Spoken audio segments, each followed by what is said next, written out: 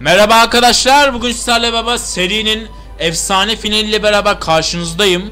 Bugün Brezilya ile beraber final oynayacağız gördüğünüz gibi. Hadi bakalım lafı çok uzatmadan başlayalım diyeceğim de oğlum. Şey unuttum lan.